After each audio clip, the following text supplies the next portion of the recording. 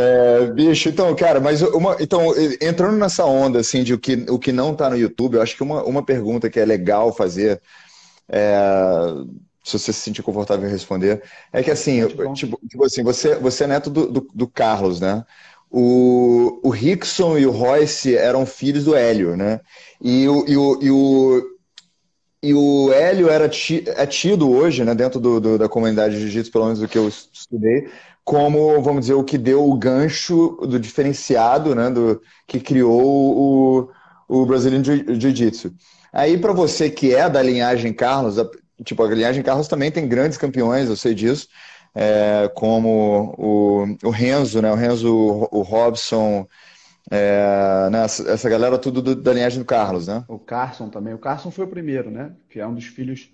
Um, acho que, se eu não me engano, o Carson não tenho certeza, mas foi o primeiro filho, talvez, do meu avô. E ele foi o primeiro, assim, né, campeão depois do, depois do Hélio. Ah, o Hélio, na verdade, é, teve o meu avô, o Hélio, e então o meu avô era, era mais velho que, o, que o Hélio, né, como se fosse um, o irmão uhum. mais velho dele, Sim, por, quase que um pai, né, por um, quase uhum. um pai até. E, então o Hélio foi o primeiro, assim, campeão né, da família, assim, que o, que o meu avô, né, basicamente é, criou, enfim. E aí, depois do Hélio, acho que, se eu não me engano, o próximo campeão foi o Carson. Né? Durante muitos anos, né? na década de 50, 60, ele teve luta no Maracanãzinho, no estádio uhum. lotado. É, tem foto disso, né? dá para procurar na internet também. E aí, depois, aí foram os outros filhos, né? Foram, enfim, Isso o aqui. Robson e... É, então, mas, mas o Hollis também... O, o, teve um... Desculpa. O Hollis também, que era filho do, do meu avô, foi um grande campeão.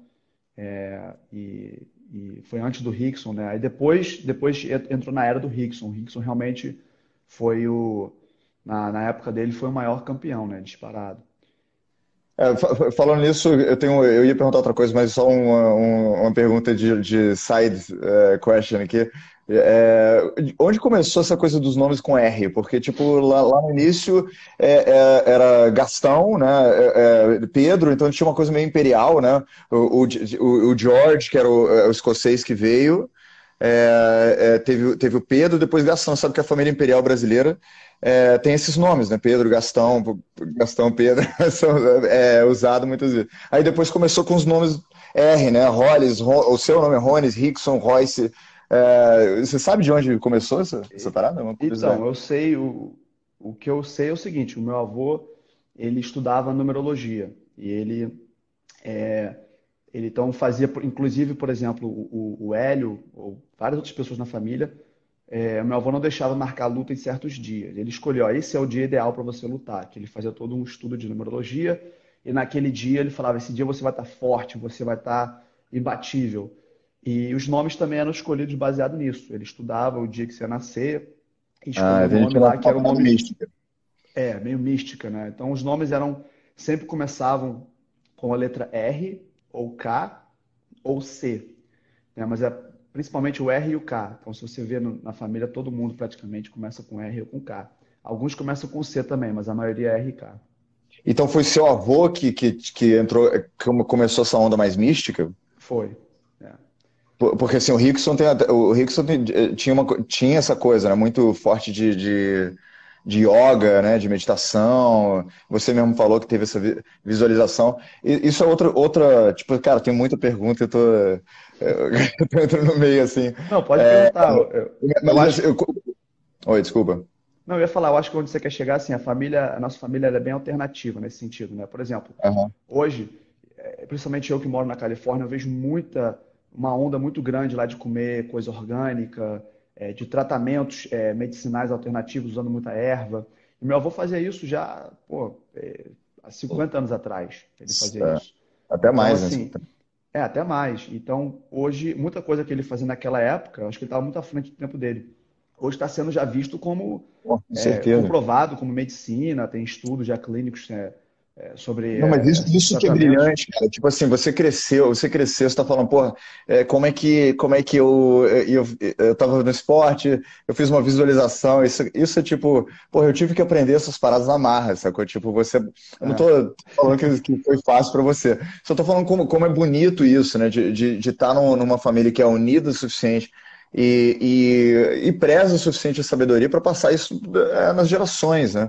Sabe que era um dos pontos que, que eu queria chegar da, da, da, comparação entre a família Grace e a família Rothschild. Tipo assim, como é que uma família de, desde 1830 e a família de vocês é pelo menos 1870, é, é, é, é bem sucedida, a, a coisa do, do jiu-jitsu foi uma, uma entrada, né, que foi mais ou menos 1901, alguma coisa assim, não, não lembro. Cara, então, é muito interessante isso. Eu, há pouco tempo atrás, há um ano atrás, comecei a pesquisar muito. Eu até estava tentando procurar aqui antes de começar a live, é, porque eu, eu fiz, eu tenho, eu tenho salvo em algum lugar na internet, no meu, é, nos meus arquivos da internet, é, no meu folder, eu não estava conseguindo achar. Eu fiz uma tree, né, uma árvore, tentei ir chegar o máximo possível no passado. E um fato, uma coisa muito interessante, lá em Nova York, eu, eu não sabia disso, eu morei em Nova York e não sabia disso, fui descobrir depois que eu voltei para Los Angeles. É, tem uma, tem uma casa lá chamada Gracie Mansion, a mansão Grace. E é onde, onde, acho que se eu não me engano, fica lá o, ou, prefeito ou governador.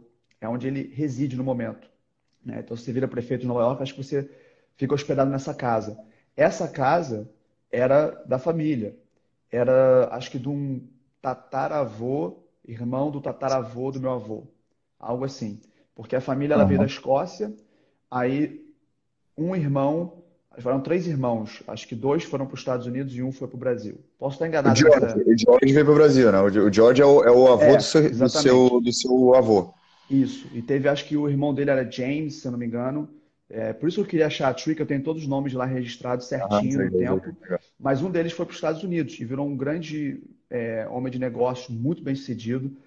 Ele ah, criou essa Grace. Grace e a Grace Mansion era a casa dele. E frequentava lá, é, o, acho que o neto do John Adams, que foi um dos é, founding fathers né, dos Estados Unidos, um dos. Mas cara, você tem que dar uma estudada eh, sobre quem, eh, sobre o George, o que, que ele tinha a ver com a família imperial brasileira, porque eu, eu, eu tô falando, tipo assim, eu sou monarquista, eu conheço a fundo esse assunto. O, o filho do George era Pedro, eh, que é Dom Pedro II, né, é mesmo nome, e o, e o neto dele era Gastão, que era, é, se eu não me engano, era o, fi, era o filho da princesa Isabel, Gastão, hum. entendeu? Ou, ou o filho do filho da princesa. Acho que o Pedro Henrique era. Mas entendeu? A família tinha o nome Gastão e, Pedro, entendeu? E se você está falando que, que isso é porra, uma viagem minha, mas, mas você que é da família, de repente consegue descobrir é, é. É, sobre isso. Mas, mas o, o, ponto disso tudo é tipo, o que, que faz esses grandes patriarcas, entendeu? O que, que ele. Que tipo de porrada que foi dado nos filhos, entendeu? Para desenvolver essa, entendeu? Essa, essa capacidade de, de aprendizado, essa capacidade de treino, de disciplina, de desenvolver as coisas, entendeu? Porque as pessoas falam, ah, genética, eu não acredito, entendeu? Eu, na minha opinião, é, é uma, é uma metodologia, sacou? Uma, uma parada que, que as pessoas é, é, aperfeiçoaram e passam. Tipo assim, você, você, você é, cresceu aprendendo certas coisas, não cresceu? Sim, claro. Eu também não acredito muito nessa questão de genética. Eu acho que a genética se eu não me engano, é, a genética ela só passa tua, o seu gene, se eu não me engano, passa adiante, acho que é 1 ponto algo por cento, é 1, 2% apenas. Então, assim, é, a maior parte da, da sua genética ela, ela, é criada mesmo, né, de forma orgânica, não sei, da natureza. É, então, eu não acredito muito nessa questão de genética. Eu acho que a gente consegue aprender qualquer coisa. Mas eu acho que são as influências, né? No, talvez quando eu estava crescendo, eu tive muita influência é, de, de coisas naturais, de comer bem. Então, acho que isso ficou na minha, na minha, na minha base, né, na fundamental. Então, quando eu, quando eu como algo que não é saudável, por exemplo, um, sei lá, quando eu era criança, eu tomava um refrigerante na casa de um amigo, eu já me eu já sentia culpado. Então isso acaba. Como era que refrigerante? não, não, nunca na minha casa entrou refrigerante. É. Altamente proibido.